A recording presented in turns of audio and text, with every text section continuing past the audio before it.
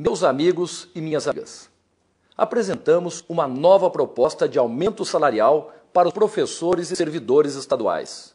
Refizemos cálculos e remanejamos orçamentos para dar ao funcionalismo o máximo que podemos.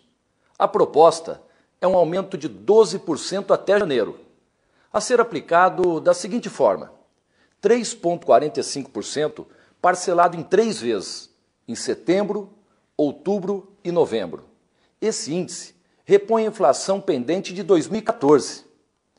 Depois, em janeiro de 2016, aplicamos o reajuste com base na inflação de 2015, o que deve significar mais cerca de 8,5%. Como você pode ver, é uma proposta séria, no limite de nossas possibilidades, irrecusável nas circunstâncias da crise econômica que vive o Brasil hoje.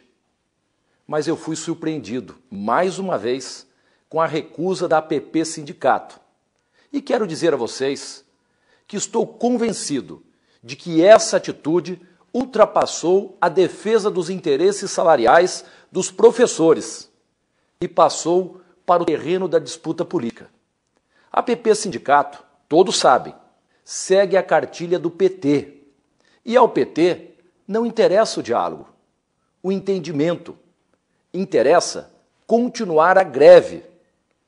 Temos crianças, jovens que estão sem aulas e sofrem um grande prejuízo em sua formação.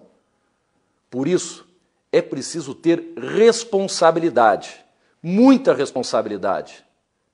Conscientes do nosso papel, procuramos fazer o melhor para atender os professores, que já receberam um aumento de 60% nos últimos quatro anos, que representa o maior aumento do Brasil. Mas agora é hora de voltar para a sala de aula. Pelos nossos alunos, eu faço um apelo aos professores e servidores.